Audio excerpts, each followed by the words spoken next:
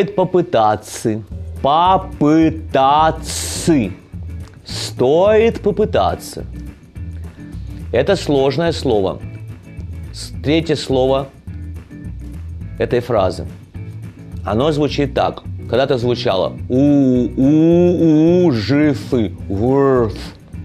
Теперь ускорилось и читается у и жифы. Дальше идет буква Т. Ты. Буква, звук ты. Поэтому все это читается так.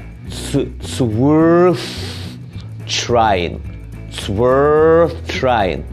Могут вообще не произнести th в слове, слове worth радостно, поскольку это слово без фы, без языка не звучит нормально.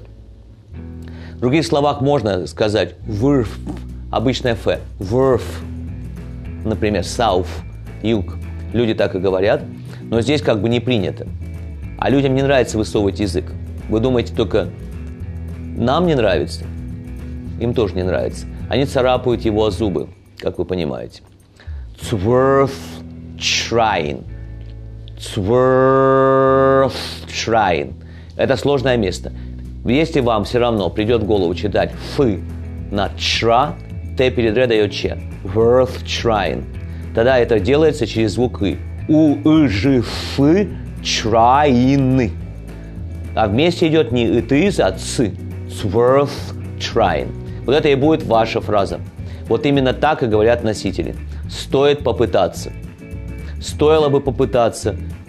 Вот какую фразу вы используете, вот это и есть ее английский эквивалент.